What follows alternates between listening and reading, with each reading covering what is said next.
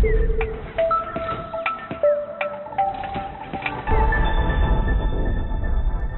I have a question for you.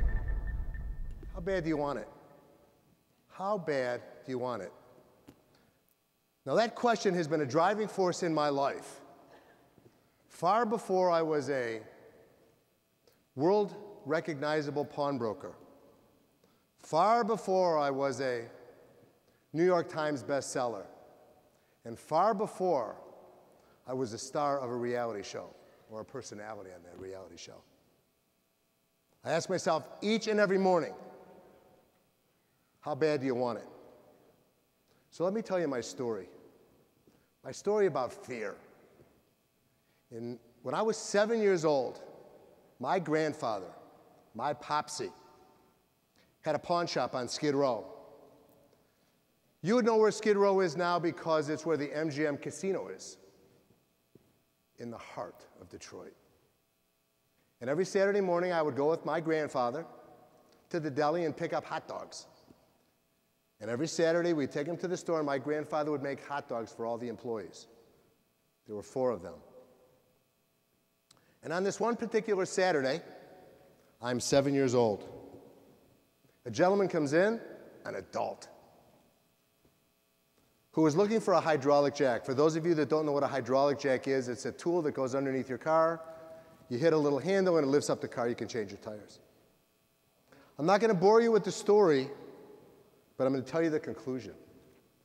The conclusion was I sold that hydraulic jack. But I had a lot to prove that day.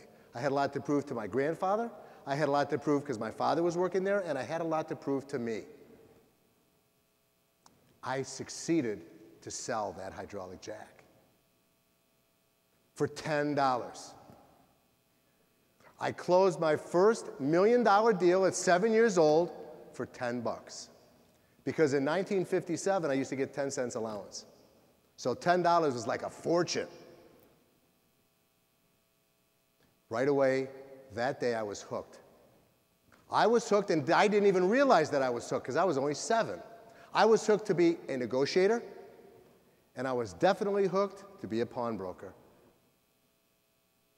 And that was my first sale. That was my first deal. How exciting!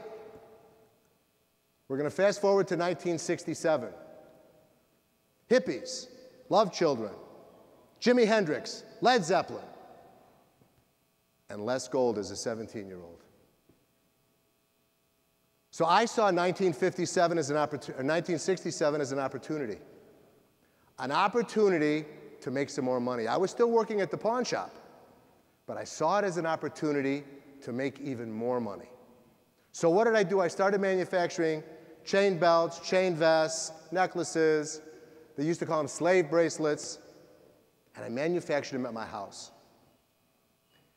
And I got up enough courage to call the J.L. Hudson Company. J.L. Hudson Company is on Woodward, was on Woodward. And it was an iconic department store. And I called him up and I said, This is Les Gold from Gold Associates.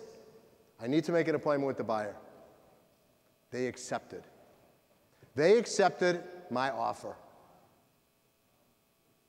So I met my obligations and I went there that day and I had my briefcase in my hand filled with the stuff that I made.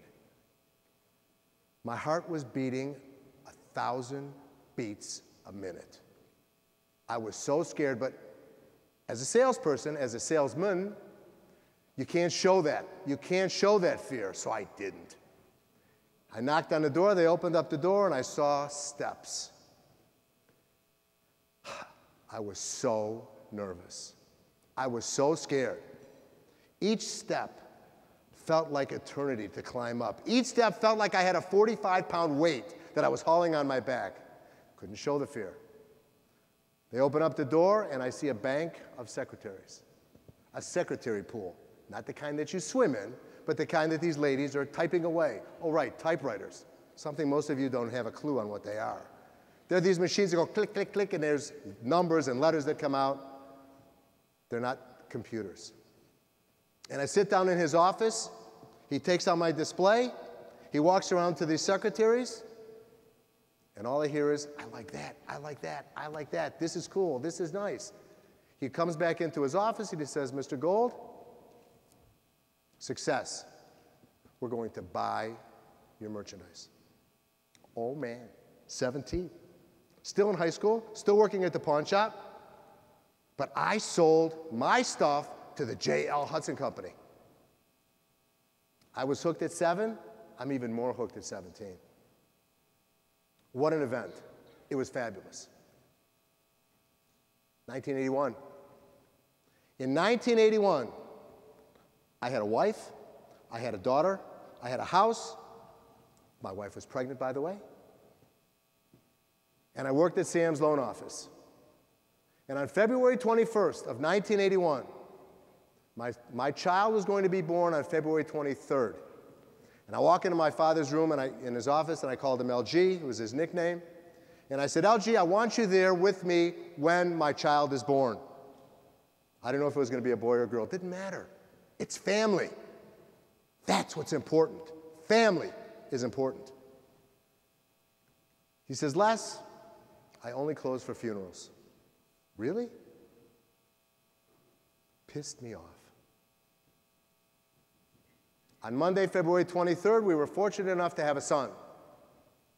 His name is Seth.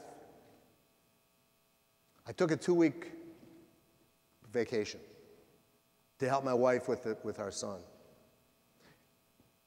I was so upset because family is most important. On March the 10th, on, on March the 12th, I go back to work, and I'm just so upset that I quit Sam's loan office. The only thing that I knew, that was it. I knew nothing else other than Sam's loan office. So as I'm walking out, the other employee said, Les, you'll be back. Because what they thought they knew is that I had obligations. I had a career. I had a house payment. I have two kids now. But I kept walking down that hallway to the front door, which seemed like eternity. Because there was one thing that I wasn't concerned about failing. Because what they didn't know was that failure was not an option. I couldn't fail. Because if I failed that, I'd lose my house, I'd lose my car, I'd lose the food on my table, and I'd lose my career. Because that's when I opened up American Jewelry. Because when you fail, it's over. There is no going back. You fail in your marriage, you fail you in business, you don't go back. But as time goes on, you realize that you're going to make mistakes. We all do. We're human beings. We make mistakes. And the good thing about mistakes, it teaches you how to repair them. It teaches you how to move forward. And as you move forward and you have success, you want to repeat success. You don't want to repeat mistakes because that will kill you. That will make you end. That will be the end. There will be no going back, ever. So now let's talk about you. How bad do you want it? And how far will you go to get it? For example, if you're a software company, do you offer training? If you're a retailer, do you offer different types of merchandise?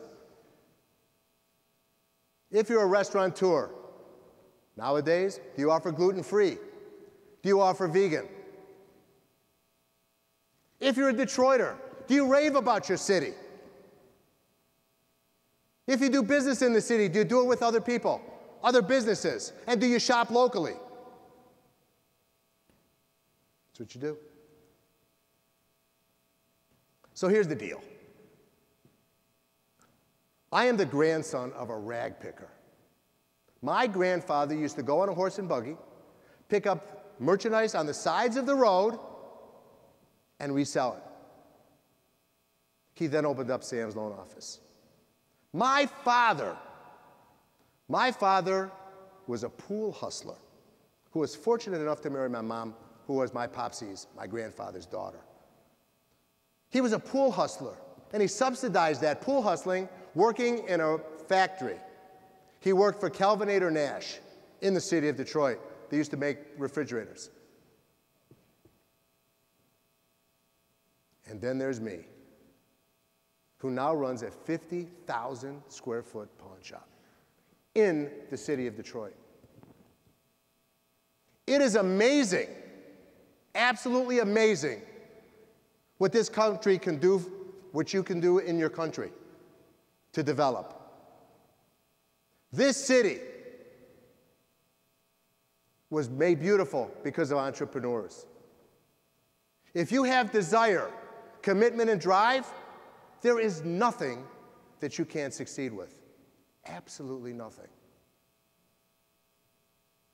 I hope that my story inspires you. I hope that my story that I just told lights a fire under your ass. And I hope that my story allows you to keep growing. Look at me, pawnbroker, a TV guy, a New York Times bestseller, seven year old kid that made that sale. How cool was that? So now, as Detroiters, which we are, let's face our fear of bankruptcy. Let's face our fear of crime. And let's face our fear of unemployment. And tomorrow morning, and how about right now, ask yourself, how bad do you want it? Ask your neighbor sitting right next to you, how bad do you want it? And tomorrow morning, when you're in front of that mirror, look yourself dead nut in your eye and ask yourself that one major question that I've been asking myself for over 50 years. How bad do you want it? Because if you want it bad enough, you are definitely going to get it. And I hope tomorrow morning you'll think about me up here and you'll do whatever it takes to do whatever it takes. Thank you.